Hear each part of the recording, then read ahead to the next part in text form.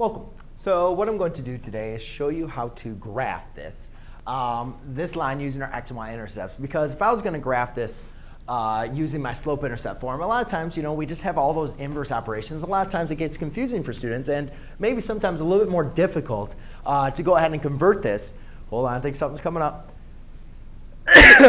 Bless you. Sorry. Thank you. So anyways, we have 6x minus 2y equals 18. Um, so what we're going to do is we're going to solve this by using our x and y intercepts rather than converting to slope intercept form.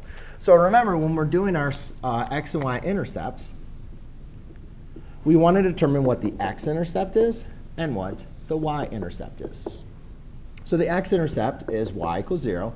Y-intercept is when x is going to equal 0. So then to solve for this, all we're simply going to do is plug in 0 in for y and then plug 0 in for x. And then once what they'll do is that will help us find our x and our y intercepts. Then we can easily connect it, connect our two points. So x-intercept is when y equals 0. So I do 6x minus 2 times 0 equals 18. And over here I have 6 times 0 equal, or 6 times 0 minus 2y equals 18.